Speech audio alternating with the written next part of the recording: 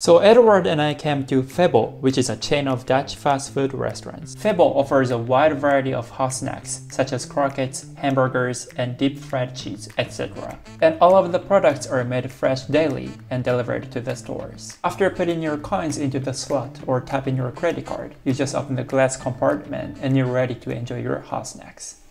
Alright, chicken burger. Smakelijk.